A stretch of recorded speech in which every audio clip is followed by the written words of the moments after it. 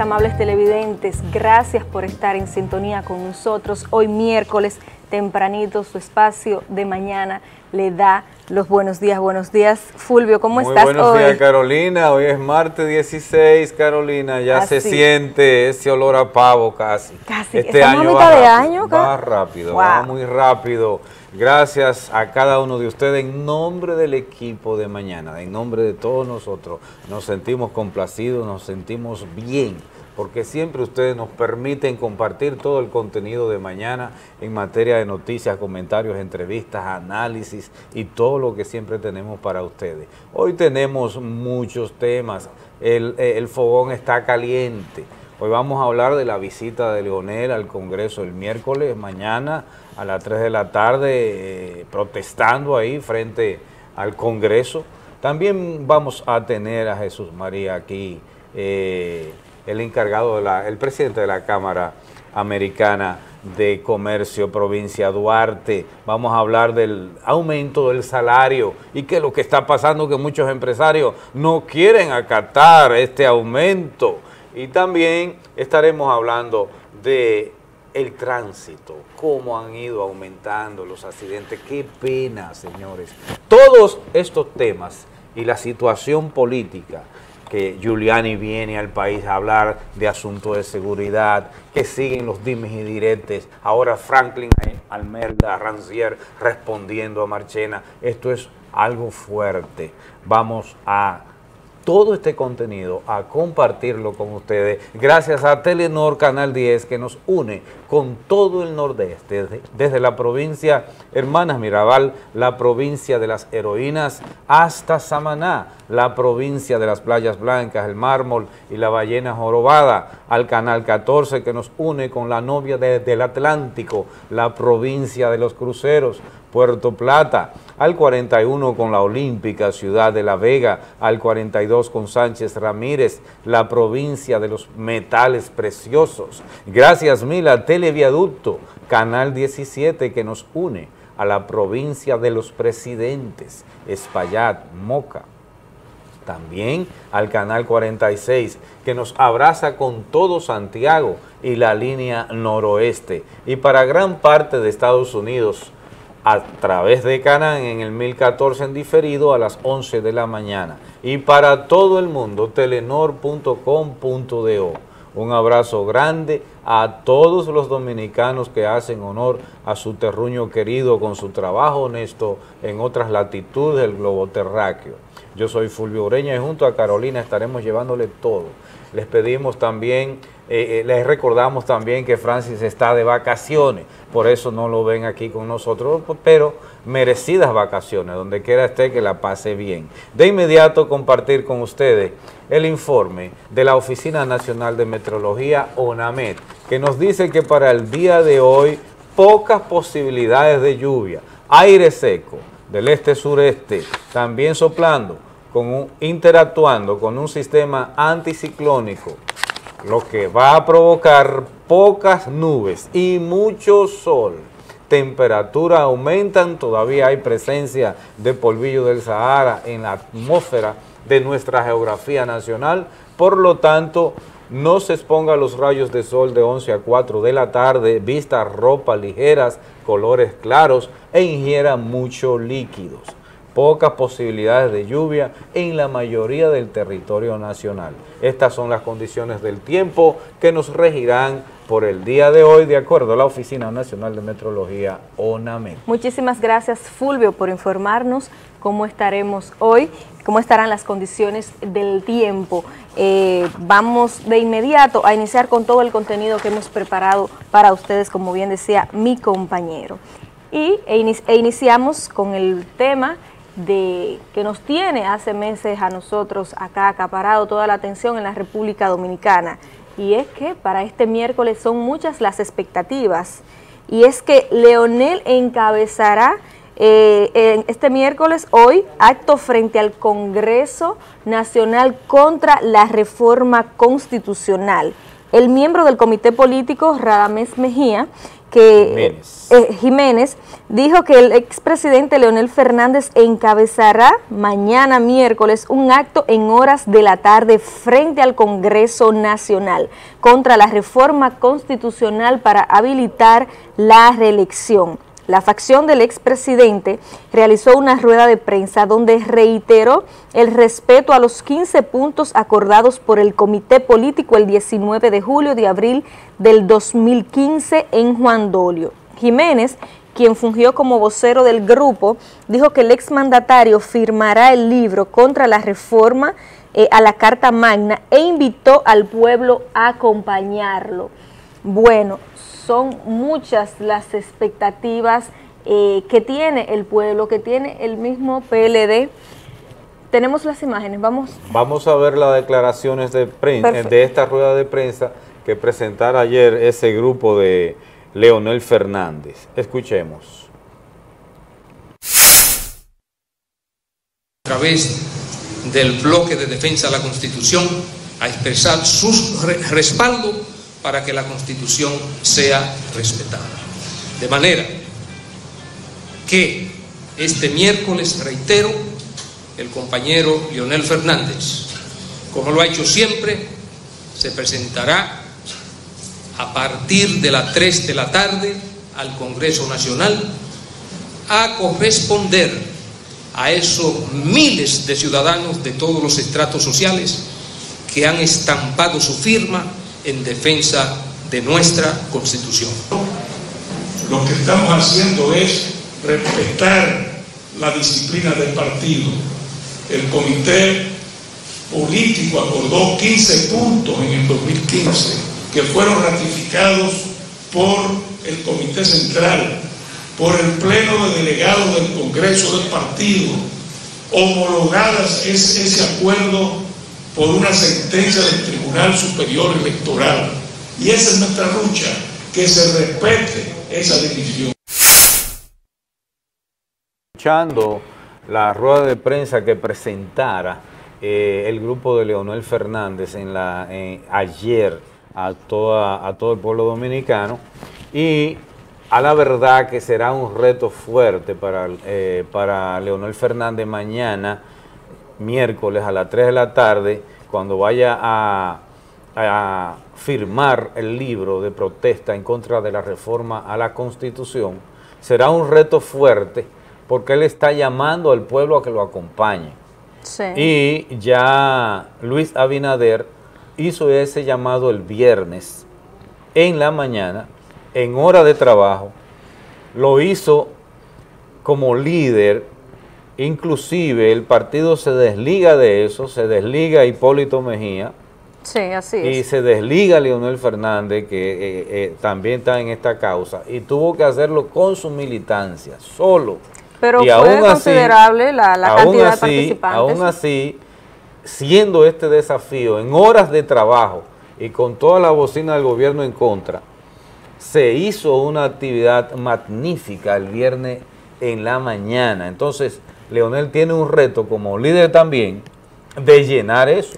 De no, que, de no quedar por debajo. De llenar eso. Eh, de, de, su contrincante, de alguna forma, el Luis Abinader, porque de no hacerse la, la reforma y de que Leonel sea el, candidato, el precandidato, el candidato a las elecciones para el 2020 y que se entiende que desde el PRM sería también Luis Abinader, eh, de alguna manera pues son contrincantes. Ah, hay 15 puntos que son los 15 puntos que ellos acordaron en el 2015. Eh, si recordamos aquella vez, el comité político se fue a Juan Dolio. Sí. Y ahí aprobó reelección por reelección. Reelegimos a Danilo, reelegimos a los diputados, a los senadores, a los síndicos, eso fue un eso fue como una estocada a todo el que aspirara, a todo el ah. sistema democrático. Pero bueno, eligieron eso. Y dentro de los acuerdos en ese momento estaba, te vamos a dar esta oportunidad, te vamos a apoyar, pero tú no vas en el 20. Eh, ahí es que radica la posición, eh, eh, Fulvio, que hemos asumido de que no es una defensa propiamente a la Constitución, es una defensa a esos acuerdos y que en este momento están afectando a Leonel Fernández. O sea, no me digas a mí. Y lo están relacionando con la Constitución. Por favor, y como hay mucha, ya los dominicanos, gracias a Dios, están saliendo un poquito de, creernos todo lo que nos dicen, la gente entiende que no es en busca de ninguna defensa a la Constitución, sino son los intereses del expresidente Fernández de volver al poder y de no permitir que sea Danilo el precandidato, porque entonces para él sería mucho más difícil.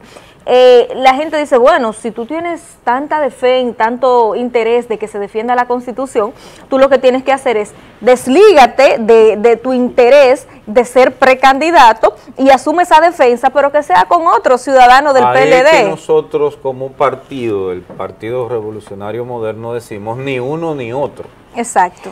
Es en defensa absoluta de la Constitución, porque ahorita en el 20 quieren modificarla otra vez no, van a, ser... Eh, y en el 24, y en el 28, modificándola a su antojo personal. Y eso es lo que no se puede. ¿Por qué? Porque nosotros tenemos que velar por seguridad de, y estabilidad de las instituciones. Un país que no tiene instituciones estables es un país que no tiene un horizonte, un objetivo de desarrollo. Mira, eh, hay que resaltar, y anoche, eh, Fulvio, veía una entrevista a a Temístocle, donde él hacía referencia al manejo que tuvo Leonel Fernández cuando eh, fue presidente y que se sentía un dios y que se sentía que él era el único que podía ser dentro del partido y que según temo, esto fue lo que lo hizo salir de las líneas de Leonel Fernández. Ahora bien, el enfoque de él, y, me gustó escuchar esta parte, y mira que eh, sabemos el manejo que ha tenido el señor Temo, pero él decía, bueno, pues ni Danilo ni Lionel, vamos a buscar una tercera persona. Yo cedo mis aspiraciones como precandidato que tengo, dice Temístocle, y vamos a buscar a una persona que garantice la unidad del PLD. Entonces, de alguna manera, se entiende que hay gente que tiene un poco de juicio dentro de ese partido y que busca que se resuelva la situación. Aunque Temo esté en lo cierto en eso, Temo es el primero que tiene menos juicio. Pero, oye Carolina, hoy quedan 10 días solamente para la, el tramo legislativo de, esta legislatura. 10 el 26, así es. 10 días. Entonces, recordemos que 22 miembros del comité político habían llamado a Fernández a cohibirse de propiciar actos de protesta o propiciar las mismas frente al Congreso Nacional por la posibilidad de la modificación constitucional.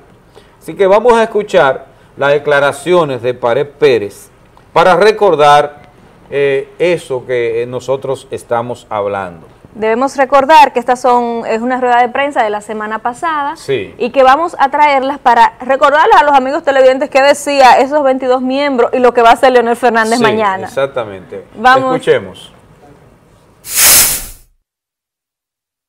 Este equipo de compañeros a lo cual se agregan las excusas del compañero Euclides Gutiérrez y José Tomás Pérez, ha querido ponerle manifiesto una posición en torno a los últimos acontecimientos que han venido ocurriendo, tanto a lo interno como a lo externo del PLD.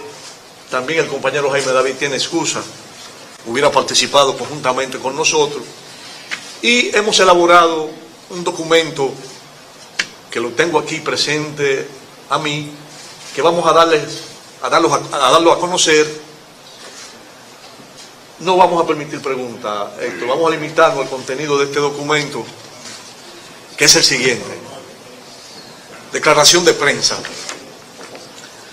Como miembros del Comité Político del Partido de la Liberación Dominicana, preocupados por el curso de los acontecimientos políticos en tiempos recientes, hemos decidido fijar nuestra posición con miras a garantizar la unidad y la institucionalidad del PLD, así como el papel político del primer orden de nuestro partido en la vida política nacional.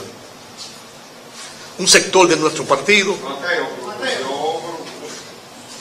un sector de nuestro partido, liderado por el compañero presidente, doctor Leonel Fernández, ha adoptado una posición frente al Congreso Nacional con el fin de impedir que éste conozca una eventual iniciativa legislativa tendente a convocar la Asamblea Nacional Revisora para reformar la Constitución y permitir la habilitación del presidente de la República, compañero licenciado Danilo Medina, para optar por un nuevo periodo presidencial. Lamentamos que esta actitud se adopte ante un poder legislativo cuyas dos cámaras están presididas por dos prominentes miembros del comité político de nuestra organización. Respetamos el derecho de cada miembro de nuestro partido a tener y expresar sus posiciones sobre este tema o cualquier otro que incida en la vida de la nación. Sin embargo, deseamos hacer un llamado al compañero Leonel Fernández y sus seguidores para que sus posiciones sean expresadas en el marco del debate normal dentro de las cámaras legislativas. Nuestro partido cuenta con los mecanismos para encauzar las aspiraciones políticas de cada quien. Por eso abogamos y conseguimos que se adoptara por ley las primarias abiertas para seguir siendo ejemplo de apertura y participación democrática. Por tal razón, si se llegase a modificar la Constitución para habilitar al compañero Danilo Medina, este también tendría que someterse al proceso competitivo de las primarias abiertas, en el que participarían todos los aspirantes a encabezar la boleta de nuestro partido en las elecciones del 2020. Desde ya, el PLD ha demostrado ser el partido más abierto y democrático, lo que se pone de manifiesto con la inscripción de miles de nuestros compañeros que van a competir por candidaturas en los diferentes niveles de elección. Otros partidos, en cambio, han limitado la posibilidad de la competencia al reservarse muchos de los cargos electivos más relevantes. El Partido de la Liberación Dominicana es y debe seguir siendo un instrumento de la ciudadanía para garantizar la democracia y promover las políticas sociales, económicas e institucionales que garanticen un mejor país. De ahí que su lema es servir al partido para servir al pueblo. Lema que en estos momentos adquiere mayor relevancia. Un partido fuerte y compacto es necesario para lograr que la República Dominicana continúe el camino de la institucionalidad, la estabilidad económica, las alianzas público-privadas con los sectores empresariales y las políticas que favorecen a los grupos más vulnerables. En definitiva, nuestro mensaje es respeto por los organismos partidarios de parte de nuestra militancia y máxima dirigencia, que se permita que los poderes del Estado realicen su trabajo libremente y sin ser entorpecidos, y que las diferencias internas que podamos tener la manejemos como se hace en democracia, debate interno y respeto a la decisión de la mayoría. Muchas gracias. Evidentemente, señores, que con las declaraciones que hiciera la semana pasada Pared Pérez junto a, estos 22 miembros de, del equipo político, de la Comisión Política del PLD, fue un mandato, fue una señal que le enviaron directamente a Leonel. Estate tranquilo, alíñate. Entonces, las declaraciones de Marchena que salieron en ese audio, unas declaraciones muy funestas, muy, muy fuera, de, lo, de lo que es eh, la educación de, que esgrimía ese partido, llamando al presidente del Partido de la, Liberación, llamándolo chantajista. Ahora, en otra ocasión, también Leonel Fernández llama a Danilo dictador. Ya hay una, brecha de, de muchos pronunciamientos. Y lo de mañana es un desafío que, que el grupo de Leonel lanza a esa rueda de prensa de Pared Pérez. es un desafío total. A propósito de, la entrevista que te decía, y, resalto algunos puntos, porque estamos hablando de un funcionario eh, que está cercano al poder, que es el señor... De sí, de Brett. Sí, y él decía, y él decía, el PLD está dividido, o sea, eso no se puede ocultar, solo falta institucionalizarlo. ¿Qué pasará mañana miércoles en esta en, esta, en este llamado que hace el presidente del partido, el señor Leonel Fernández, esto de alguna manera va a determinar muchas, muchas cosas dentro del PLD. Se va a medir, se va a medir el poder de llamamiento que tiene el, el expresidente y también va a dar le va a dar a entender tanto a Reinaldo como a los otros 21 miembros, al mismo presidente Medina, de decirles, yo no me voy a acatar lo que ustedes quieren. que Félix Bautista y, Bauta tienen las guaguas preparadas con la gente del país entero Eso para iba coger para allá. Eh, Eso es evidente. Este, llama, este llamado que hace el señor Leonel Fernández no es algo al azar. Si, si, o sea, si tomó esta iniciativa, ya se supone que debe de haber una logística preparada para mañana llevarlo al palacio, sean los motoconchos pagados que andan haciendo las carreras, sean haitianos, como lo vimos en las entrevistas, y sea todo lo que tengan que hacer, pero ahí van a llevar gente mañana. Fíjate que el comité político del PLD no se ha podido reunir como institución, porque Leonel es el presidente, es el que convoca y no ha convocado, ni va a convocar. Por eso sale Reinaldo Párez Pérez con esos 22 miembros y presenta las excusas también de los que no estaban ahí, diciendo nosotros somos mayoría. Es una línea que le estamos enviando a nuestros legisladores y se dice fuera de cámara que los legisladores que no acaten la línea del comité político simplemente lo van a expulsar. Eso dice. Entonces la línea que hay del comité político no institucional, no institucional es que deben de acatar la modificación de la Constitución. Entonces ahí está el pleito, entonces porque no es institucional. No es el órgano que de manera formal está llamando, pueden ser los 22 miembros, los 25, todos los que componen el comité político y si no está encabezado y no está de una manera formal. Ahora está el comité central. En el comité central Danilo Medina tiene el 70% o el 68% y Leonel Fernández tiene el 30, 32% en el comité central. Pero, que, que si se lleva ahí, también va, va, perdiendo por donde quiera que sea en estos momentos porque Danilo Medina es que, quien tiene mayoría. Ahora bien, no es posible y lo vemos por los diferentes eh, pronunciamientos que hacen de manera particular, aún sea un importante grupo y de los más altos funcionarios, lo están haciendo de manera particular, no propiamente desde el comité político o el comité central que se reúnan como órgano, como partido. Entonces, sí, pero tú tienes ahí, Carolina, a los principales del entorno de Danilo Medina. Tú tienes a Marchena, que es el vocero oficial de la presidencia, tienes a José Ramón Peralta, que es directamente el vocero principal de Danilo, y tú tienes también ahí, en ese círculo, a, a Párez Pérez. Entonces, los que han hablado, han hablado por el presidente. Por el pero por supuesto, eso no, no sé, eso no lo podemos negar. Lo que sí es que debemos de tener claro que estos pronunciamientos eh, y estas iniciativas de ambos bandos lo están haciendo de manera particular, no propiamente como el partido, o sea, no ha sido posible para ellos eh, trazar una línea partidaria, formal, que se diga, mira, esto es lo que estableció el partido, ellos lo están haciendo por un lado y otro. Entonces, de alguna manera, pues le quita fuerza para, vamos a decir, hasta expulsar, como hay algunos que han solicitado, vamos a expulsar a Leonel Fernández, pero para esto se necesita... Eh, unos lineamientos o un ordenamiento específico, formal, dentro del órgano y de lo que está institucionalmente establecido dentro de ese partido. Bueno. Han enviado sus mensajes de WhatsApp. Y nos envía Rigo García. Rigo García eh, nos envía esta foto que se entiende, una foto inédita que se entiende que es de Juan Pablo Duarte. Y nos dice, esta foto es de Próspero Rey, fotógrafo venezolana que sacó eh, una, una única existente foto de Juan Pablo Duarte. Es una joya que hay que conservar. Eh, no se ha podido determinar esa, esa foto fue cuando él fue general, que estaba con las tropas en el sur, que de mil pesos entonces regresó y dio todo su informe, devolvió todo lo que le lo sobró. Que lo que le sobró. La honestidad de Juan Pablo Duarte. No. Lo, único que no se ha podido determinar si es de él.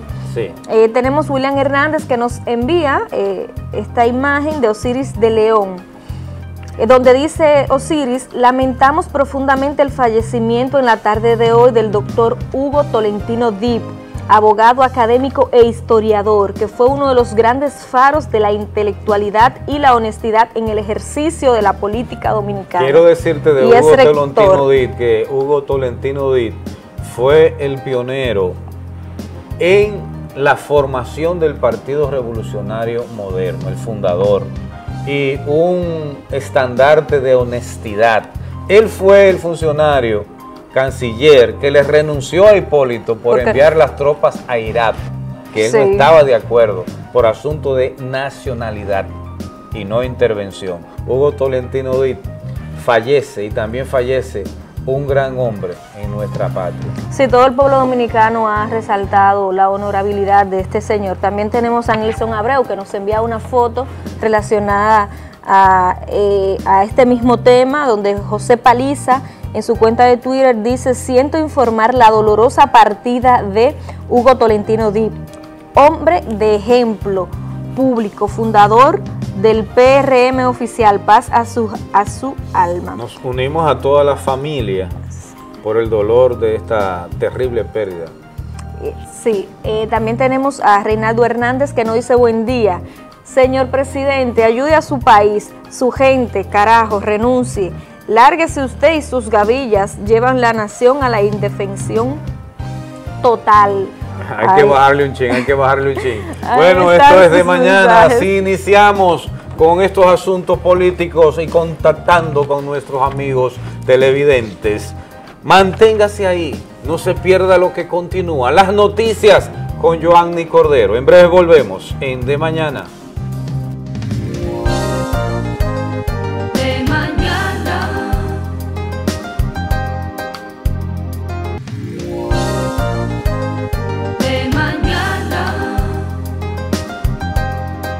Gracias por continuar con nosotros aquí en De Mañana. A la verdad que Leonel Fernández tendrá un reto fuerte mañana desobedeciendo a la parte del comité político de Reinaldo Párez Pérez y los 22 miembros, no institucional, desobedeciendo eso, pero tendrá un reto grande también de llenar eso de gente como líder, porque él está llamando a toda la nación dominicana que lo acompañe. Debe demostrarlo. Entonces, eh, eh, Félix Bautista y Bauta tienen que empeñarse a fondo para que del país entero lleven agua para allá. No saben si saben algo de la constitución, pero pero llevarán gente, llevarán gente. Hay que decir que es un reto que tiene el presidente del partido de demostrar ese liderazgo que se supone que él tiene dentro del mismo, dentro de una, un grupo importante de, de. Y hay que decir también que es posible que, aunque no haya habido eh, existido un llamado en este momento para mañana de la oposición y demás, pero posiblemente hayan ciudadanos y otras organizaciones civiles que se unan, como ha estado sucediendo. y oye, es un llamado por los 15 puntos. Ah, ellos mismos ellos Eso es. Ellos Me gustaría que Francia estuviera aquí, entonces, ah, pues ya no lo de la reforma, ellos, lo mismos lo dijeron, ¿eh? ellos mismos lo dijeron, pero ya se escucha la música, la música de las noticias con Joanny Cordero. Muy buenos días, Joanny.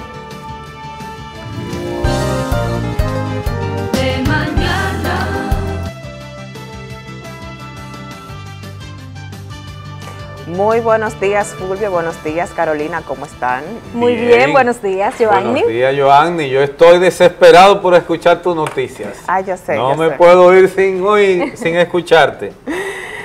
Aprovecho la oportunidad para saludar también a los amigos televidentes y tal como, como decías, Fulvio, vamos a iniciar con la parte de las noticias de este martes. E iniciamos inmediatamente hablando del plano internacional, específicamente de Puerto Rico, en donde se vive actualmente una situación un tanto tensa y es que cientos de personas piden en la calle la dimisión del gobernador de Puerto Rico.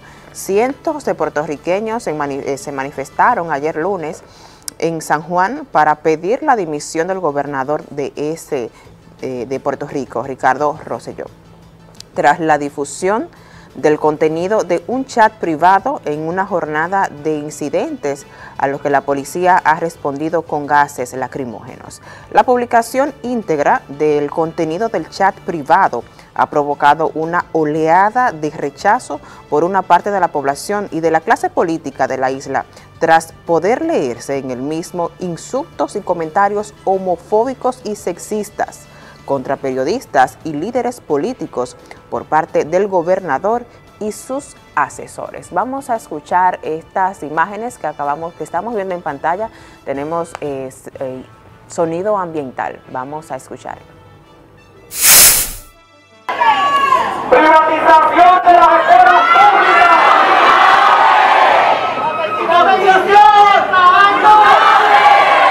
Daño ambiental. Misoginia. Machismo. Homofobia.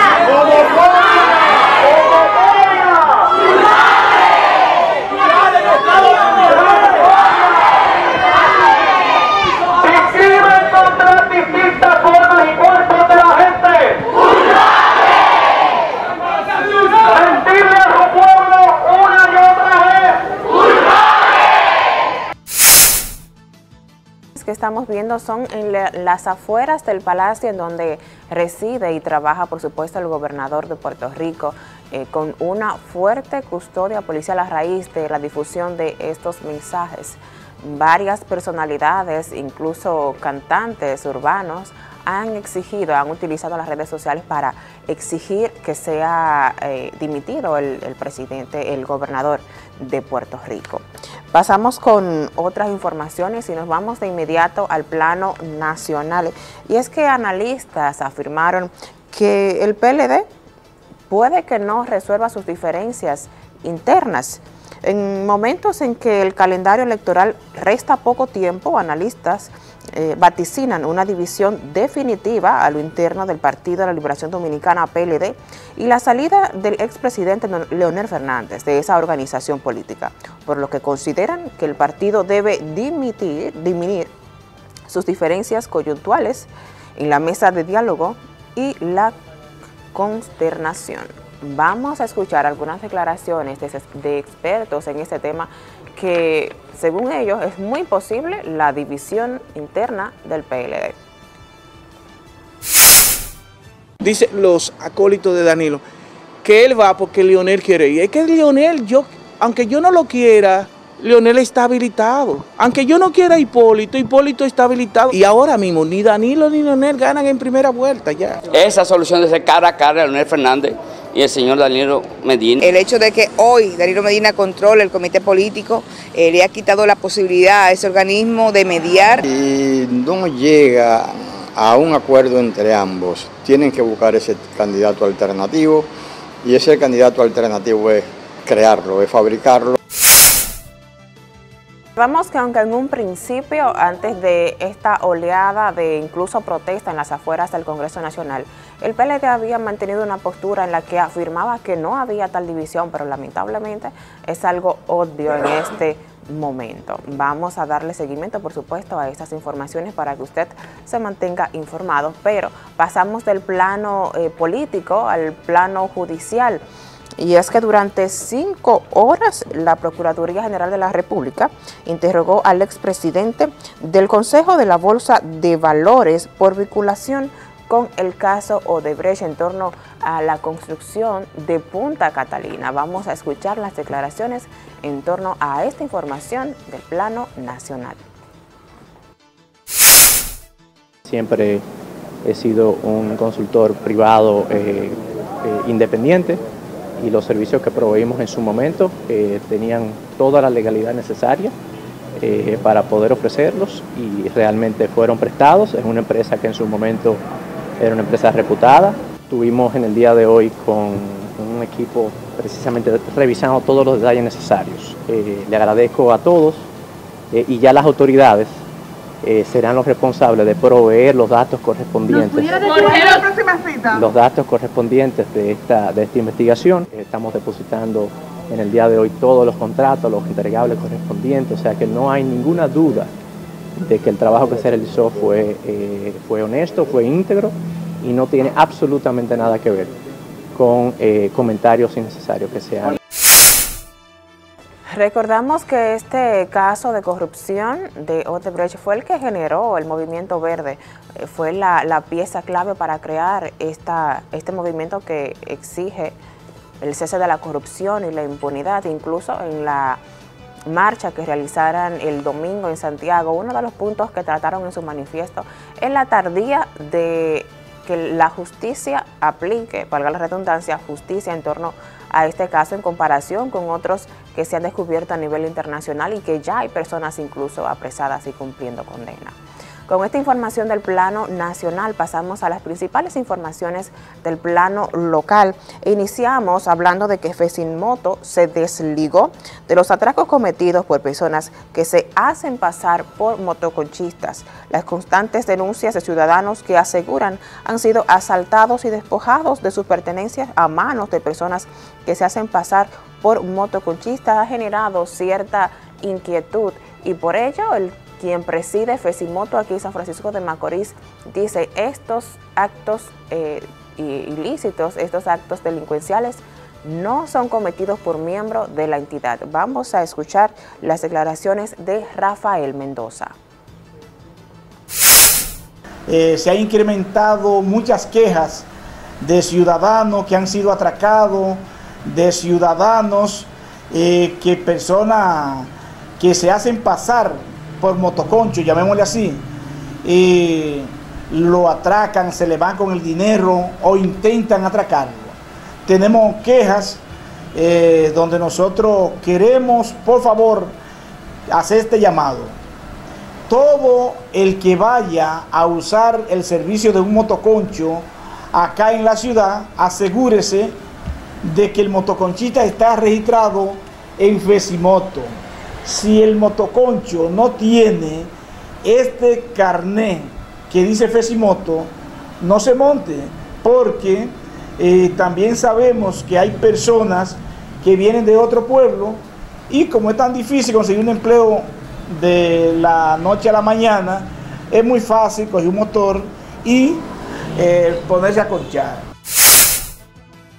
Los motoconchistas deben afiliarse a, este u otros gremios a lo que pertenezcan para eh, estar debidamente identificados y usted como ciudadano en caso de que tenga la necesidad de utilizarlo y que no conozca cuáles gremios los agrupa y cómo certificarlos, pues busque a alguien de confianza para evitar eh, robos y atracos futuros. Vamos a pasar con otra información y es que ayer se entregó una persona que fue acusada de atropellar a un joven en Las Guaranas. Familiares del occiso exigen justicia. Sobre este particular tenemos las declaraciones del abogado Luis Miguel Mercedes en torno a este caso en donde lamentablemente falleció un joven que fue atropellado en la carretera que comunica este municipio con el de Las Guaranas. Vamos a escuchar las declaraciones. Ciertamente hubo una coalición de dos vehículos donde lamentablemente perdió la vida una persona. Eh, hoy día el señor Juan Carlos ha decidido entregarse eh, ya para lo que es enfrentar el proceso eh, con relación a el, hecho ocurrido en ese momento. está a disposición ya del órgano investigador, que es en este caso de DGC, y ellos tramitan el expediente conjuntamente con el imputado ante la autoridad correspondiente, en este caso el Ministerio Público, a los fines correspondientes. Eh, hace aproximadamente ya como ocho días. Recordamos que este accidente ocurrió la semana pasada y de acuerdo a informaciones de familiares del joven hoy Oxiso, fue atropellado y dejado en el pavimento, tirado a la suerte. Puede ser una de las posibles causas, lo que, o sea, el no tener atención adecuada en el momento adecuado pudo ser una de las causas de su fallecimiento. Vamos a pasar con otra información y es que también conocieron la medida de coerción del presunto candidato del PRM que fue, que fue atrapado por miembros de la Policía Nacional con aproximadamente 88 paquetes que se presume era cocaína. Eso fue en Villarribas. Vamos a escuchar sus declaraciones y a permitir que sea él quien dé la versión de esta historia.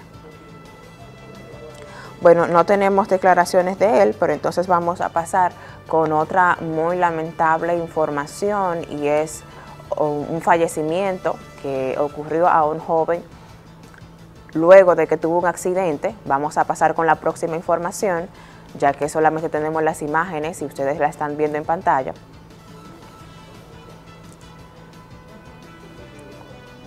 Pues como le comentaba, vamos a dar una información muy lamentable y es el fallecimiento de un joven. Falleció en la tarde del domingo mientras recibía atenciones médicas en un centro de salud privado de esta localidad, un joven que sufrió un accidente el pasado mes en esta ciudad. Se trata de Julio César Tejada Gutiérrez, de 29 años de edad, oriundo del Distrito Municipal de Blanco Arriba, esto es en el municipio de Tenares. El joven Tejada fue atropellado o él, chocó contra una camioneta, como se observa en las imágenes del color verde, y esta se dio a la fuga, el conductor se dio a la fuga. Como decía, el accidente ocurrió el mes pasado, el joven falleció lamentablemente. Eh, vemos las trágicas imágenes de este accidente. Damos muchísimo eh, la muerte y nuestro sentido pésame para los familiares. Pasamos con otra información, hablemos del plano político a raíz de la situación que vive actualmente el PLD. Seguidores de la línea leonilista aquí en San Francisco de Macorís respondieron al presidente, al, al vocero de la presidencia, Roberto Rodríguez Marchena, en torno a su postura asumida contra la línea contraria.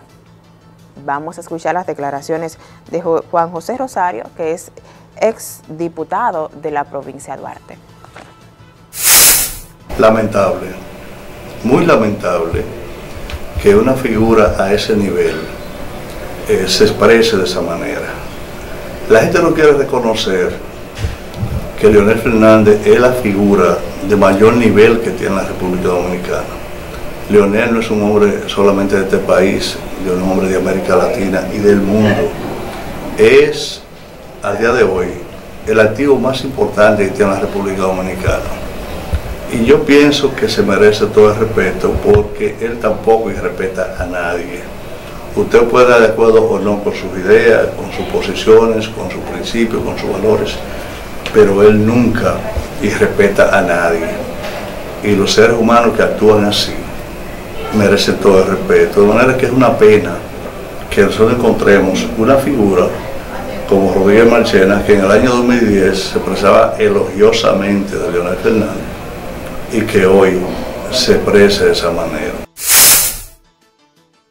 Estas las declaraciones en torno, la respuesta más bien de Juan José Rosario en torno a las declaraciones del vocero de la presidencia, eh, una prueba fehaciente más de la división que tiene actualmente el PLD.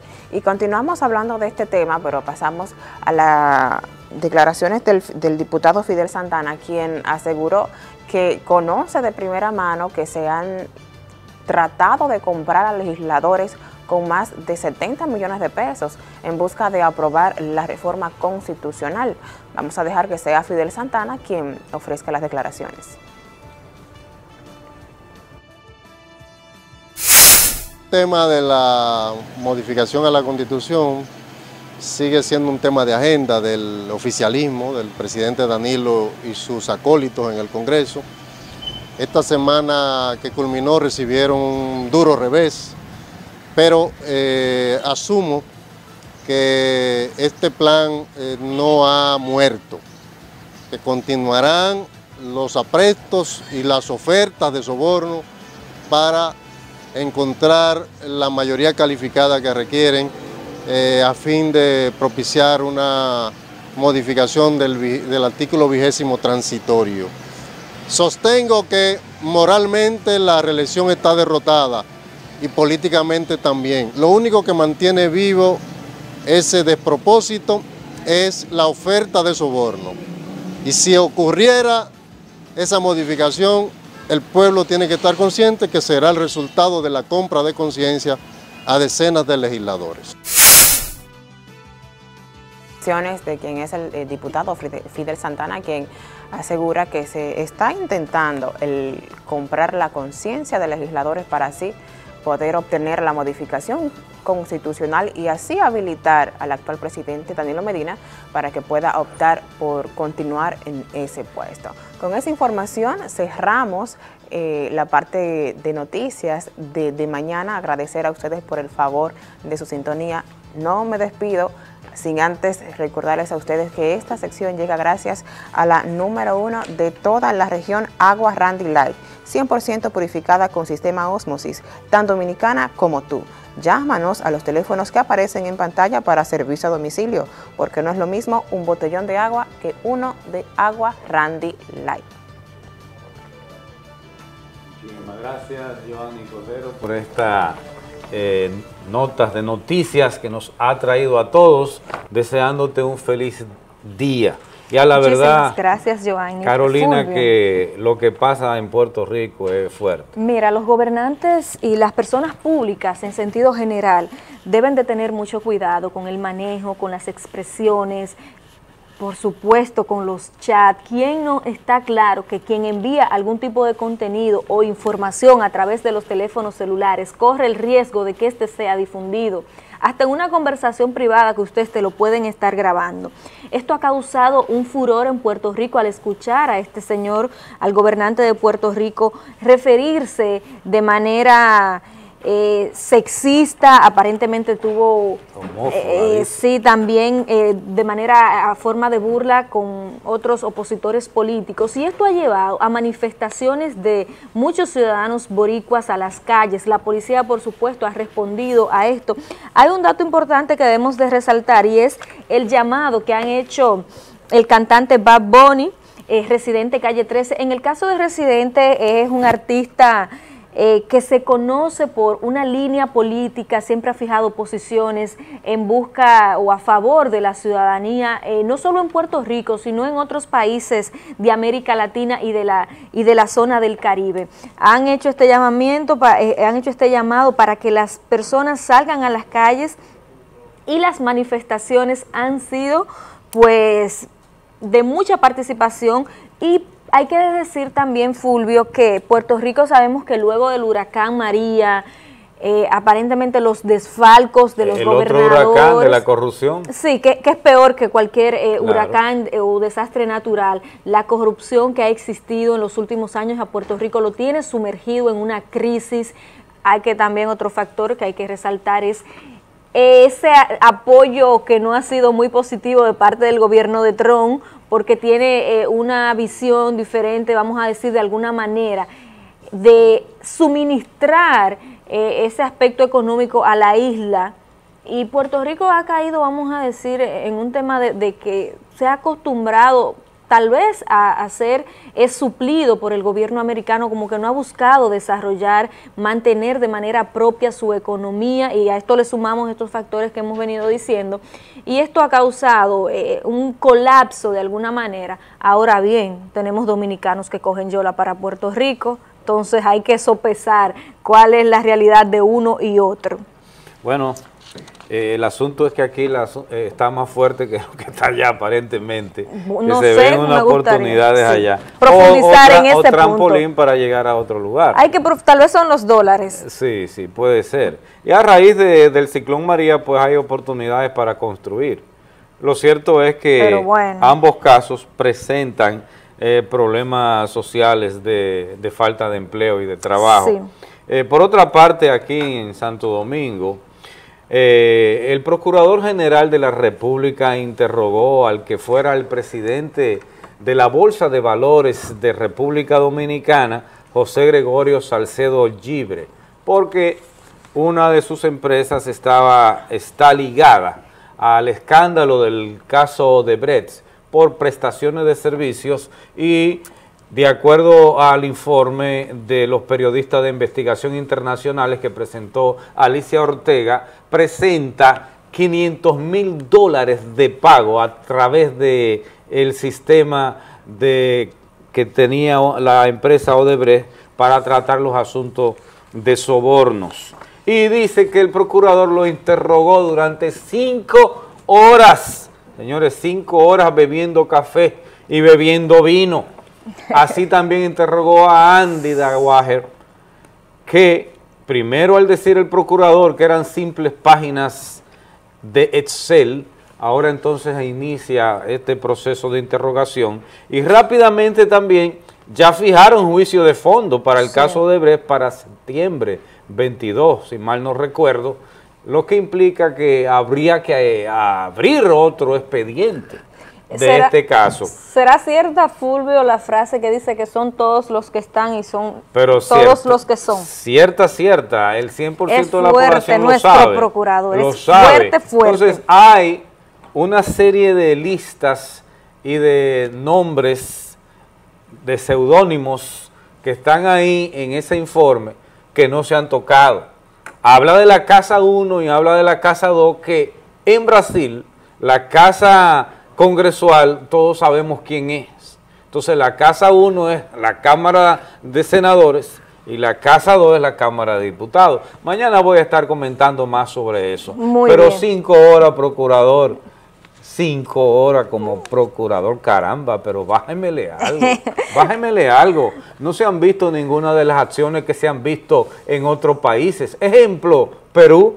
Perú llama, hace allanamientos sin avisarles y busca los documentos en Brasil. Usted no lo busca en Brasil ni hace allanamientos sin avisarle. Hay que recordar la... Eh, eso parece como una reunión de cinco horas, Sí, como de, sí. como, eh, barájemela, Y las barájemela. oficinas también. Barájemela algo, como que no. O sea, no fueron a la oficina de este señor a, a investigar los archivos. No, no, no, ni, ni se hicieron allanamiento ni Ah, nada. pero qué bien. No, no, no. Mira, eh, hay que recordar la frase célebre, si se quiere, de Marcelo Odebrecht, cuando se le decía en juicio, usted corrompió a estas personas. Él dijo, yo no corrompí a nadie, ya ellos eran corruptos.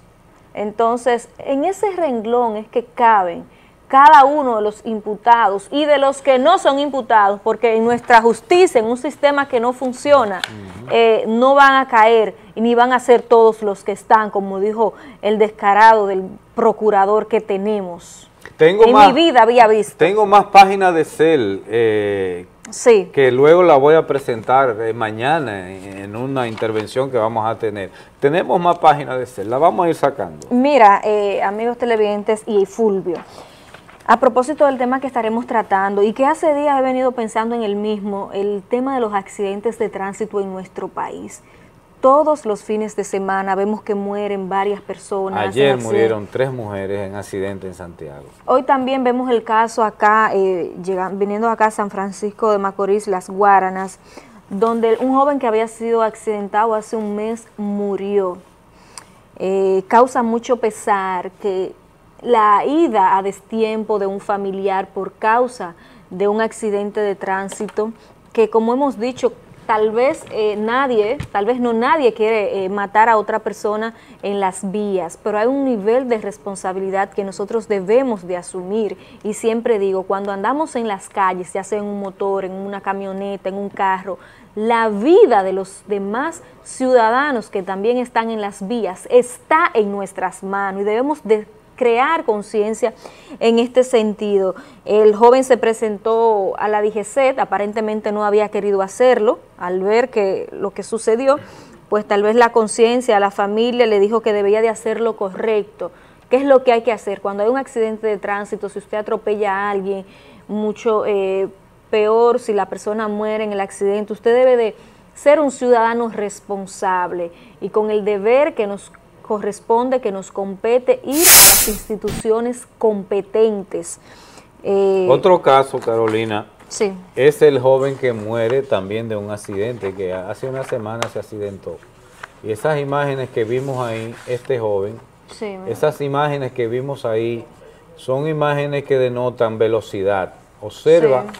a la velocidad que se va en ese cruce.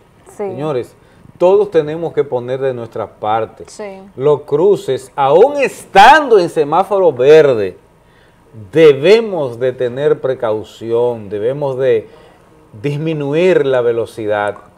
Fíjense ustedes el impacto tan fuerte que provocó que una semana después muriera este joven lleno de vida, lleno de salud, apenas iniciando su vida. No, y que la familia, para la familia es un golpe muy grande, porque es que tú no estás esperando que un familiar se te vaya así. Entonces, los accidentes de tránsito siguen arropando la República Y Dominicana. en la mayoría de los casos, los accidentes de tránsito eh, son provocados por nosotros mismos. Porque sí. si vamos en un vehículo tenemos que tener la responsabilidad que ese vehículo se puede convertir también en un ente que provoque daños. Por lo tanto, tenemos que ser precavidos, cuidarnos y cuidar también a todo el entorno, todo, todo el que Claro, claro, lo que decía. Entre todos. Mira, eh, hace unos días salieron las declara- declaraciones de Fidel Santana eh, de los famosos 70 millones de pesos, 25, depende de quién sea el legislador, eh, que se le está ofreciendo, según las declaraciones que diera el diputado del Frente Amplio. Y esto es lo que nosotros, quienes abogamos por una no reforma, e- es, lo que buscamos que no se dé, por el motivo, por el sentido de que para impulsarlas, cuando no se cuenta con la mayoría y aún contándose, se sabe que para la aprobación de la misma hay algunos acuerdos que si no son necesariamente económicos, porque eres de la línea de quien busca esa reforma, los demás que no la apoyan en principio y que tal vez a una última hora o en un último punto sí cambian de parecer, estas son las implicaciones que la ciudadanía y que nosotros entendemos que conllevan las reformas. Esas declaraciones de los millones y millones de pesos. El hombre del maletín, cuando se busca reformar la constitución para una repostulación o reelección Lo, de un lo presidente. funesto es que en causas anteriores se, ha- se hizo cotidiano y no tuvo régimen de consecuencias. Sí. Entonces, lo que esperamos es que estas cosas tengan régimen de consecuencia y el elector sepa a quién elige. Si lo que elige a un negociante eh, barato, a un profanador de la Constitución, si lo que elige es a, a un prostituto de, de lo que son los bienes del Estado. Y estos casos que se dan en la Cámara eh, de Diputados, que también se dan en, los senadores, es, es un caso simplemente bochornoso y penoso en lo que es la institución del país.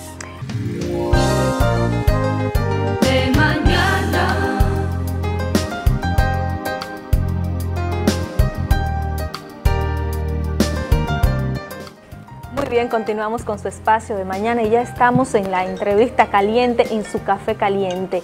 Y tenemos de invitado, como decíamos antes de la pausa, al representante, presidente de la Cámara de Comercio de la provincia Duarte, eh, a Juan García. Juan María, eh, gracias por estar acá con nosotros y por supuesto eh, aprovechar y saber cuál es la situación del famoso 14%. Buenos días. Sí, gracias. Buenos días, Fulvio. Muy buenos días, Juan. Muy buenos Carolina. días. Es un momento de comercio, es un momento de empleado, es un momento interesante después de tanto tiempo de, de- de rondas de reuniones. ¿Cuál es la situación de hoy? Saludar a los, a, los, a los que escuchan y ven este espacio día a día, de mañana, muy importante, informaciones de interés eh, local, nacional, porque no internacional. Eh, gracias por la invitación que nos hacen este, este espacio. Fíjate, eh, nosotros a nivel del comercio, eh, todos sabemos la situación y dimes y te direte que ha habido en los últimos eh, meses con relación a un aumento salarial. Y es bueno destacar de principio a los que nos están observando en esta oportunidad que el empresariado del comercio nunca ha estado indispuesto a aumentar realmente el salario del sector laboral. Siempre hemos estado de acuerdo con esa eh, postura. Pero realmente aquí se la cosa se le da larga. Hablábamos al principio que esos enfrentamientos y 12 reuniones que se han llevado a efecto para llegar eh, a la conclusión de un 14% de aumento del sector laboral, yo creo que eso no debería suceder en nuestro país.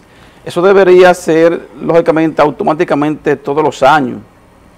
El Banco Central eh, hace un estudio estadístico todos los años y debido a la inflación que hay habido en el país, vamos a aumentar el sueldo del sector laboral. Sería mucho más fácil. O sea, no Pero tengo no- entendido que eso está contemplado en la ley, que el Estado es el que rige los niveles de salarios del país. y así debería ser. Pero es Evitamos- así o no, no tiene el dato de si está establecido. Sí, sí, eso está Entonces, establecido, ¿por qué no debería ser así. ¿Por qué no hacerlo? Evitamos reuniones, eh, hasta gasto de combustible. Pues lo que Pérdida de 12 tiempo. reuniones, la gente moviéndose en el país, como están los tapones aquí en, en- en Santo Domingo, y pierde tiempo. Juan, Eso es menos lo que es la misma economía a nivel del país. Entonces, realmente, ¿cuál es la posición de la Cámara de Comercio? fíjate, eh, esta ha sido una decisión a nivel de la Federación Dominicana de Comerciantes, donde realmente también Fedocámara está incluida. Fedocámara es la, las madres eh, la, la que conforman todas las cámaras a nivel del país. Somos 32 eh, cámaras a nivel de República Dominicana y forma parte de lo que es el engranaje empresarial del país, todos reunidos en lo que es la Federación Dominicana de Comerciantes, eh, que dirige el ingeniero Iván de Jesús García. Ciertamente que después que se dio el- la aprobación el- la semana pasada del 14%, sin tomar en cuenta una petición que hemos venido haciendo desde el principio, y es algo, lo que decíamos, algo- una exigencia de simple y llanamente cumplir una ley que está establecida, la ley 187-17, que establece muy claro y precisamente la clasificación de las empresas. Hay tres elementos o tres categorías de empresas, que son la micro, la pequeña y la mediana empresa. Entonces esa ley da toda la panorámica de la clasificación, porque no podemos colocar, como decíamos en el campo, todo en un solo saco. Estamos defendiendo la subsistencia de las pymes en República Dominicana, que somos el 97% de las empresas pequeñas y medianas en nuestro país. Por tal razón, no podemos igualar una empresa, un pequeño colmado, un salón de belleza, a igualarla a las grandes empresas, a los bancos del país Pero, Juan. y pagar el mismo sueldo que paga esa empresa grande. Pero Juan, resulta que yo como empleado tengo que ir a comprar eh, el quintil, eh, tengo que subsistir, tengo que comprar y el Banco Central tiene unas estadísticas que me dicen a mí que se necesita de 25 mil pesos para el último quintil, de 30 mil pesos para el segundo, para el tercero 35 mil, en fin. Ahora, con ese sueldo, que es un sueldo de lo más pequeño de América, de los más bajos de América, apenas 200 dólares por mes, los empleados, ¿qué tienen que hacer para, por lo menos, que su dinero tenga poder adquisitivo para comprar comida? Fíjate, el Banco Central, lo que usted está diciendo es, eh, es real.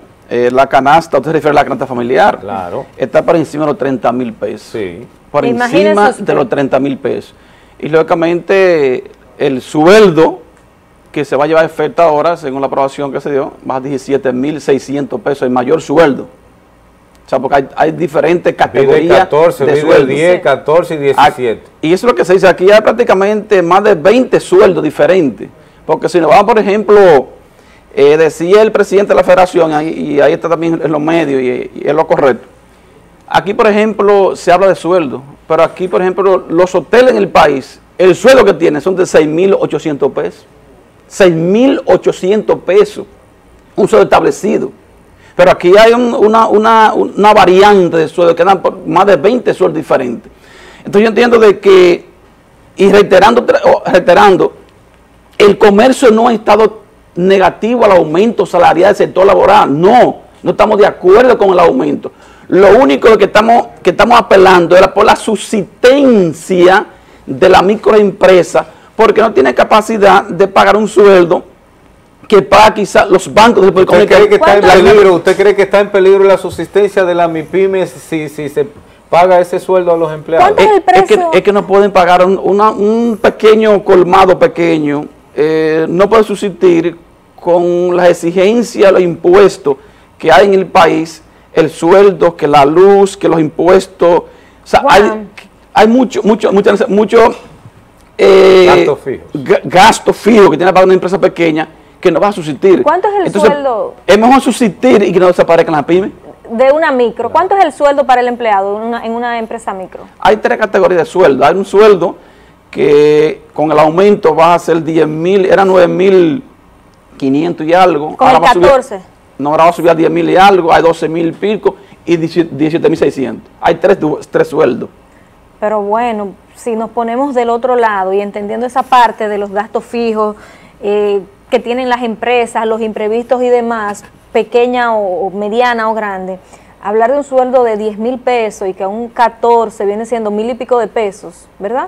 O sea, pues Eh, no o es- sea, no, no es, no- o sea, siento, y, y usted dirá, o sea, que no es tanto lo que podría afectarle para que esto incide en la subsistencia de la misma. No estamos a- hablando de 5 ni 10 mil pesos más. es que todas las empresas, eh, según la temática que tiene el Ministerio del Comercio, de- del Ministerio de Trabajo, todos vamos a pagar sueldo, el sueldo máximo eh, de mayor a mayor cuantía porque eh, hay una panorámica ahora de que la clasifican en valor de 4 millones de pesos de inversión y de edificación que, que usted tenga. Por ejemplo, para que se entienda claro y preciso, si Fulvo tiene un pequeño colmado y tiene un local alquilado y ese local alquilado al dueño le cuesta 3 millones de pesos ese local, va un inspector del Ministerio de Trabajo y le dice que ese local no es de Fulvo, que es alquilado.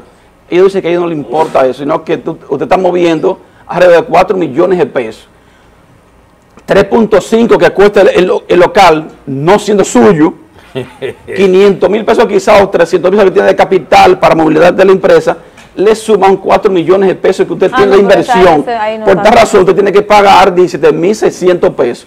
Entonces, el hecho no es que no lo pueda pagar, sino eh, lo que estamos es acudiendo a la subsistencia, reitero, de las empresas pequeñas, de las pymes. Hay otra la cosa. subsistencia para que se mantenga activa, que somos los mayores empleadores del país. claro. Hay 2.500 millones de empresas a nivel del, del país y una gran cantidad de empleados que dependen de esas pequeñas empresas. Hay otra cosa que no entiendo. Vamos a permitir que Felicia traiga el cafecito, porque la situación está un poco caliente. Si fue un 14% lo que aprobaron, buen buenos día. días, Felicia. Buen día, buen día, joven. Si fue un 14% que Gracias. aprobaron de aumentos, Gracias. eso 14, ese 14% se va a aumentar equitativamente a las diferentes eh, Re- renglones. renglones que tienen.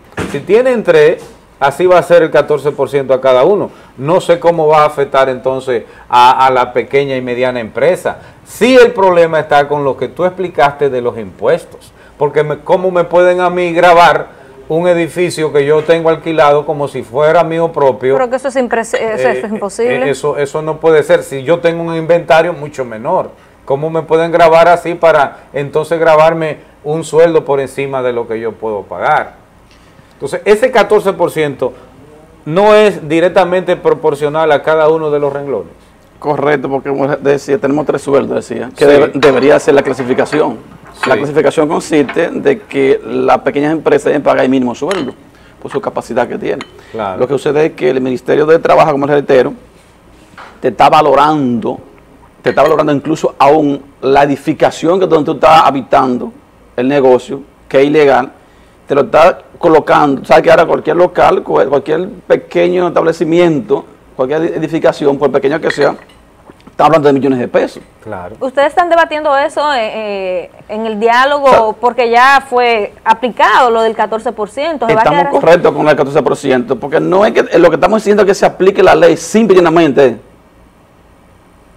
Que no hay, eh, considero que no hay necesidad incluso ni de, ni de reuniones, ni reunirse con los sectores sindicalistas ni con el Estado, sino es que se aplique la- lo que dice la ley simple y llanamente. La clasificación de las empresas para que hayan, haya- hayan tres tres, tres niveles de empresa, lo que dice la, la ley. Entonces, usted como pequeñas empresas y que no le evalúen su, su- un, un edificio o un local donde usted tenga que no es suyo, que es alquilado, No, pero que eso es algo que... que es alquilado. Entonces se, se lo suman y se lo llevan a un capital y le suman 4 millones de pesos. Ya usted con 4 millones de pesos tiene que pagar el sueldo máximo. Hemos visto, he visto declaraciones. Para entendernos, mantén la idea, Carolina, Sí. para entendernos.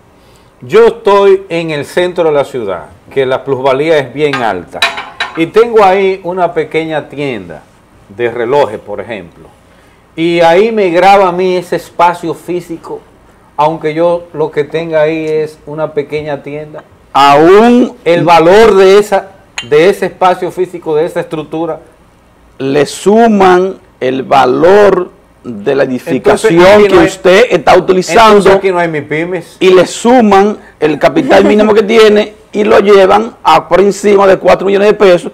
Por tal razón, cuando le llevan ese capital por encima de 4 millones de pesos, usted tiene que pagar el sueldo máximo Porque el hecho no es que Ya, ojalá ya. se pueda pagar. Ya, ya. Ojalá se pueda pagar 20 mil pesos de sueldo. Ya. Lo que estamos, lo que estamos, eh, eh, lo que estamos es acudiendo es a que las pequeñas empresas, que son la gran mayoría, estén subsistiendo, o sea, se mantengan Sí, sí. activas. Yo entendí. ¿Cómo será este Yo proceso? entendí. Mantenga Al activa. grabarla con la parte física, rompe eh, el nivel por encima de lo que debería de pagar por ser pequeña empresa.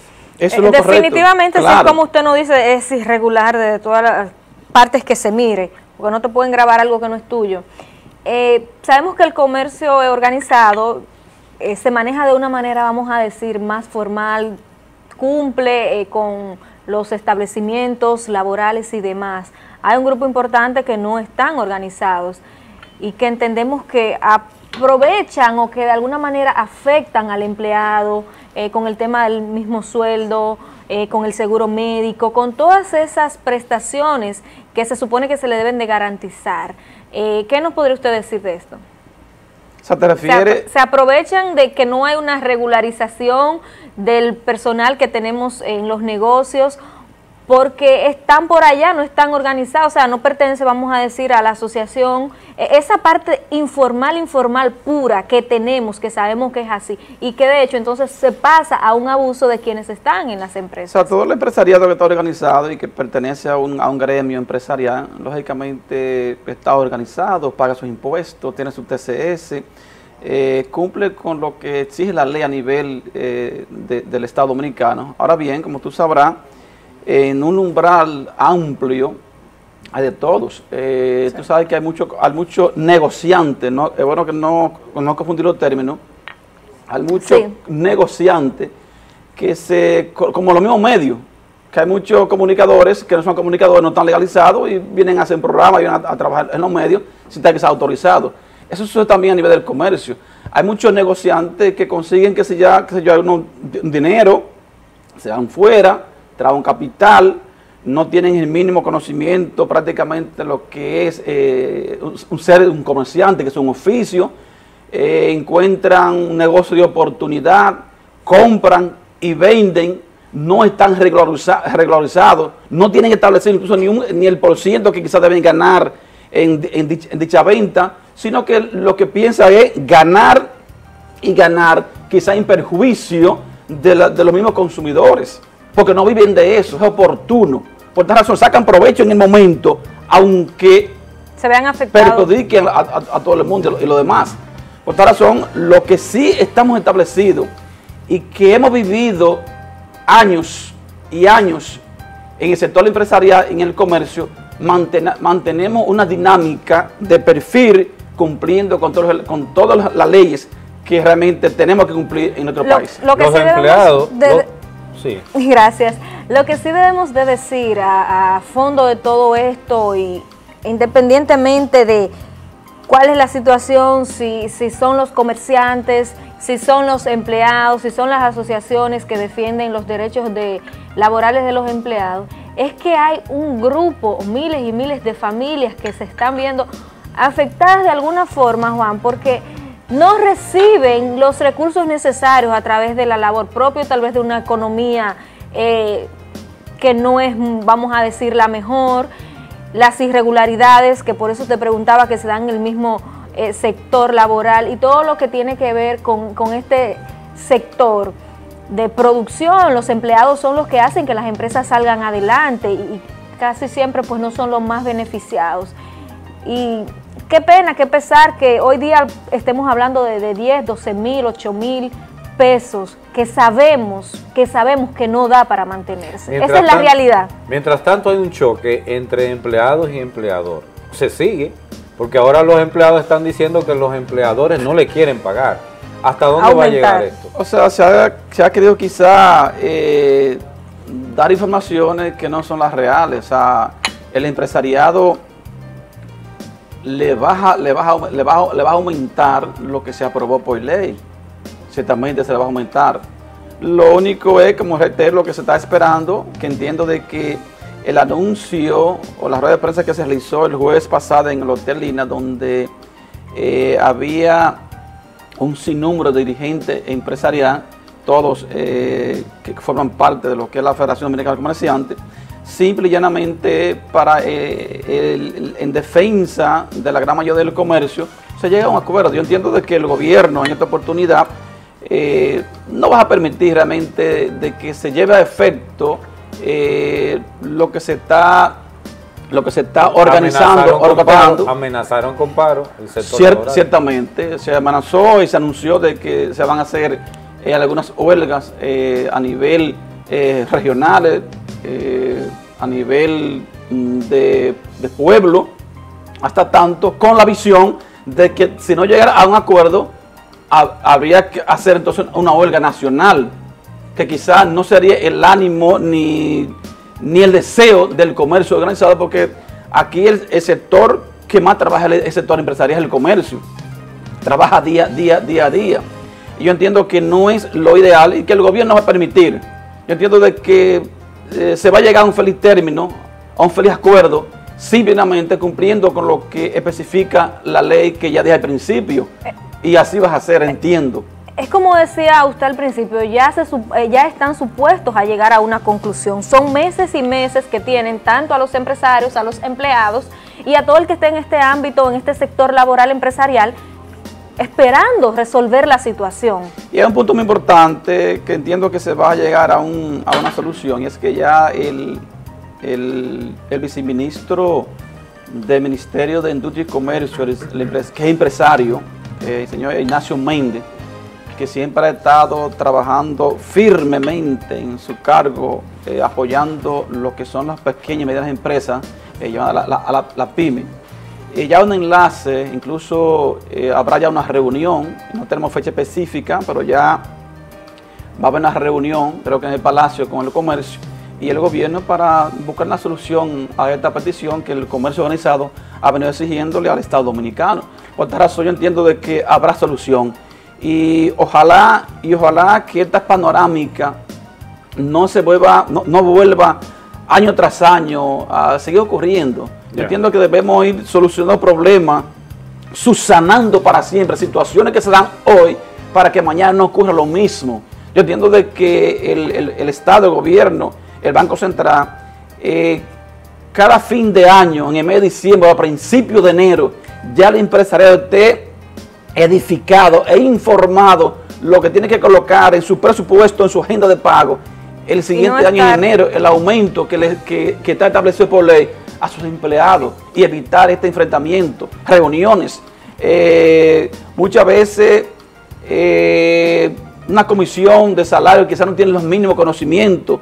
Muchas veces Sí. los mismos sindicalistas, usted lo ve hablando por los medios de comunicación y defendiendo, lógicamente defendiendo a su, a su sector, pero no tienen una empresa, no tienen empleados para a su- gracias. a, su, a su empleado. Eh, Muchísimas gracias, Juan María García, presidente de la Cámara Americana de Comercio Duarte. Cámara de Comercio. estar aquí- Cámara de Comercio.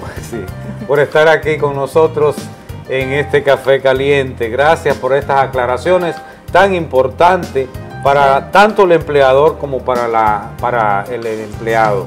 Muchísimas gracias. Gracias a Muchísimas ustedes. gracias. Ustedes manténganse ahí, en breve volvemos. Hay más contenido en De Mañana.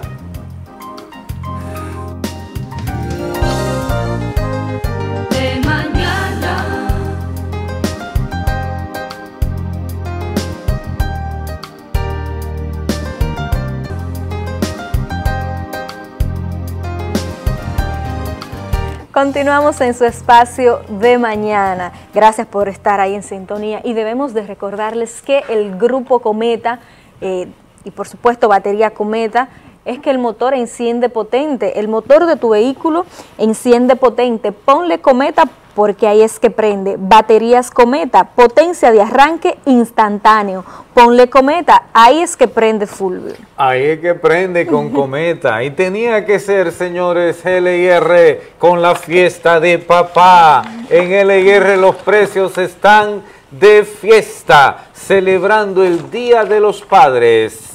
Colchones, sillones, televisores, todo lo que papá quiere para estar cómodo y también entretenido. Llévatelo como tú quieras al contado, al crédito, cómodas cuotas, pero ponga feliz a tu papá, porque en LIR todos califican.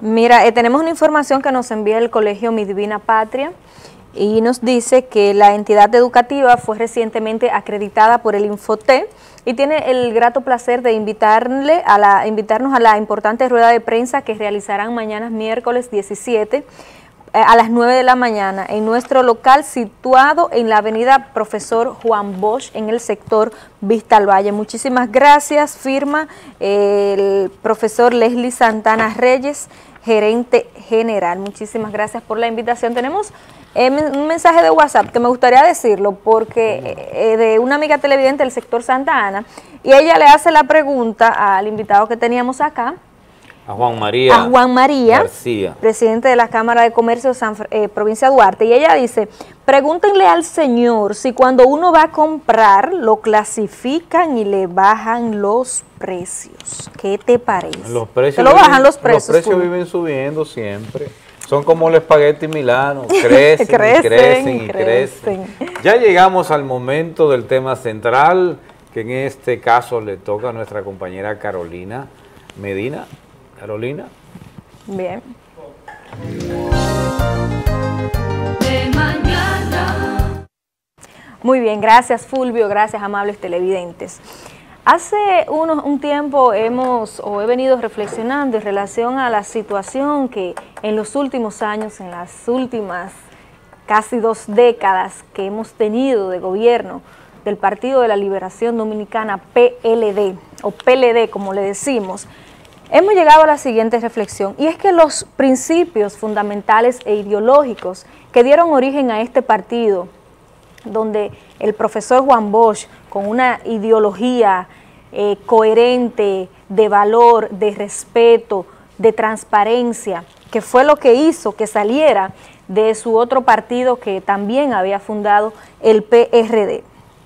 El accionar del gobierno de, este, del gobierno del Partido de la Liberación Dominicana en casi ya sus 16 años, los diferentes escándalos de corrupción que hemos visto en nuestro país, casi dos décadas, como decía, solo interrumpido por una nefasta eh, gestión del, del expresidente Hipólito Mejía, que ese no es nuestro enfoque en estos momentos, pero que debemos de resaltar. No es posible que desde el ejercicio del poder, de la gobernabilidad, a este partido que nos ha gobernado por tantos años no le ha sido posible resolver uno de los problemas fundamentales que nosotros tenemos como nación. Ciertamente tenemos una deuda social acumulada, histórica, hay que ser justo, podríamos decir, de alguna medida, pero son casi 20 años gobernando la República Dominicana. ¿Y qué han hecho? Muchos escándalos de corrupción que han ido en aumento con el paso de los años y que más adelante estaremos citando algunos de ellos. Y es que cuando las cosas andan mal dentro, imagínese usted cómo están fuera. Hemos visto todo lo que ha pasado en los últimos días y a propósito de esto, para continuar con el comentario, vamos a poner el audio que entendemos que no podemos dejar en el olvido, el accionar los referimientos que han estado haciendo, pero más que todo de una persona que se entiende que es la voz o el speaker del presidente Medina, haga referimientos como esto. Cuando habla Rodríguez Marchena, ¿habla el presidente Medina o solo estuvo hablando él? Otra de las cosas es que nosotros debemos de crear conciencia y nosotros debemos de decir, ¿hasta cuándo? ¿Hasta cuándo lo tendremos? ¿Cuándo van a parar? ¿Qué nosotros vamos a hacer? ¿Qué tenemos que hacer para que en el 2020 nosotros podamos decir, salimos del PLD o del PLD? Desde el accionar, desde las urnas, desde el voto consciente ciudadano, nosotros debemos de asumir y decir que no queremos más el gobierno morado. Otra de las cosas que nosotros debemos de entender, de entender, es que cuando no hay un sistema de justicia independiente, tenemos tres poderes en la República Dominicana, el ejecutivo, el legislativo y el judicial. Y como hemos dicho, tenemos tres en uno, porque el poder, eh, legislativo es impuesto por un representante del presidente. En este caso es del presidente Danilo, pero cuando era el otro, Hipólito Danilo, también son elegidos por ellos. Es un empleado del gobierno. ¿Cree usted que Yenalai, en este caso, va a tomar acciones en contra de un presidente que fue quien lo puso o en contra de las personas que están a su alrededor? Pues fíjese que no. Una de las cosas que nosotros necesitamos y que debemos de abogar para un 2020 es que el Poder Judicial no sea impuesto y que no sea eh, manejado desde el Poder Ejecutivo. Los legisladores, si se quiere, de alguna forma, pues están ahí eh, por las líneas, y luego de que son elegidos por el pueblo, se, se dejan llevar por una línea o pertenecen a una línea de gobierno. Eso lo sabemos. Si usted de la línea danilista, eh, pepeachista, danilista, leonelista, del cual fuere, de alguna manera se dejan llevar por esta. Pero se supone que los legisladores representan al pueblo y no hay intereses particulares de sus gobiernos. ¿Tú tienes el audio? Ya tenemos el audio. Vamos arriba. Sublevado. Ha sido una minoría, una minoría insolente, encabezada por el presidente del partido, que no han querido reconocer y han amenazado y han chantajeado a esa mayoría generosa del partido que encabeza Danilo, eh, la han chantajeado de que van a dividir el partido y al dividir el partido pues eh, nos condenamos a la derrota, a salir del Estado y a volver al ostracismo.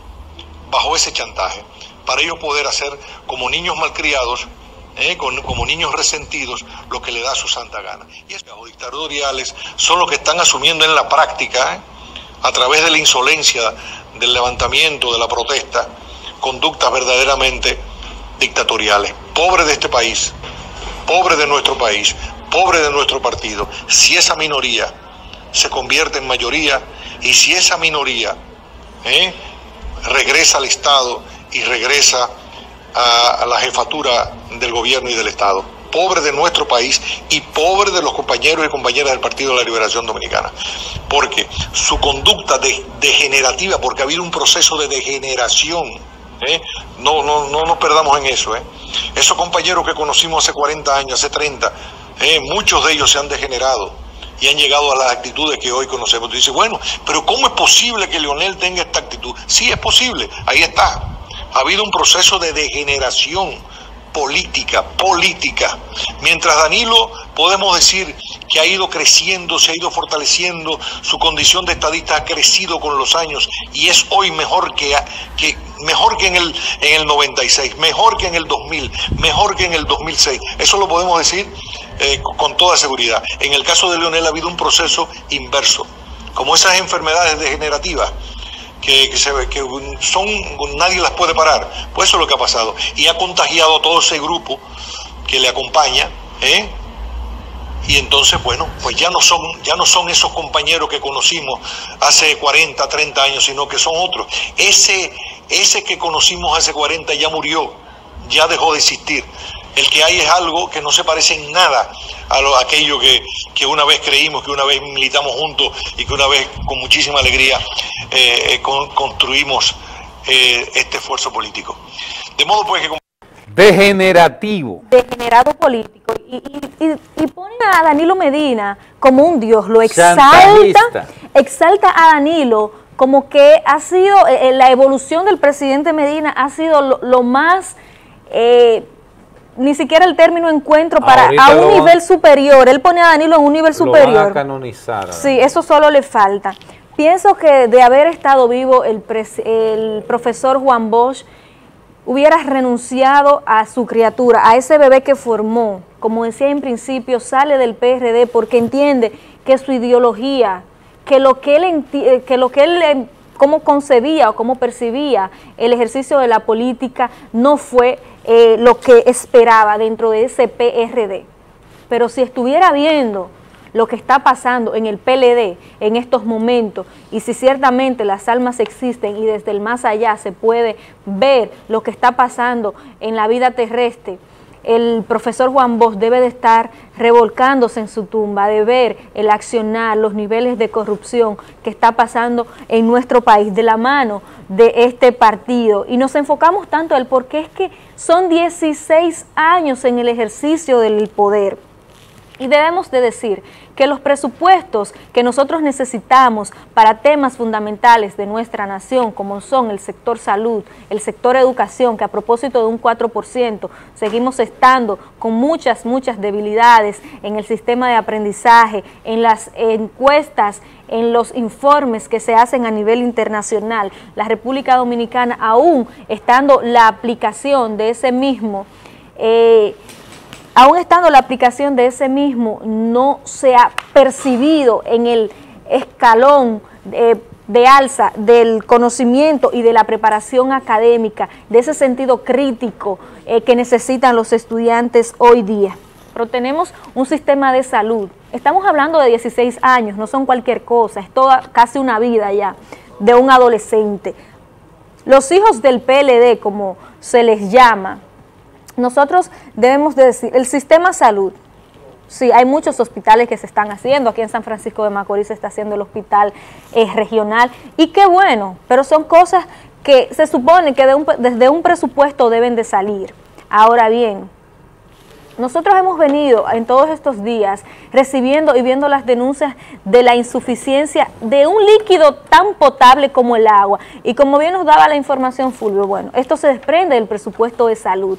El Instituto Nacional eh, o INAPA, como más bien le conocemos, donde no cuenta con los recursos, con los técnicos, con el personal eh, necesario y los recursos económicos ni decir. Entonces, que esto da como resultado que tenemos sectores, gente que anda comprando sus camiones de agua, gente que tiene que salir hoy día en pleno siglo XXI con sus botellitas, con sus cántaros de agua, porque no ha sido problema siquiera resolver el problema del agua en República Dominicana. Y casi estoy terminando el tema, pero quiero poner la imagen, porque hemos enfocado el tema, es en el PLD, en este gobierno, en este partido más bien, que tiene 35 años y que sus principios fundamentales e ideológicos, y le preguntábamos a la profesora Luz Helene, ¿y los círculos de estudios que se realizaban cuando el profesor Juan Bosch? Ella solamente se rió, porque sabe que han caído en una decadencia de valor, porque solo oprime el interés propio.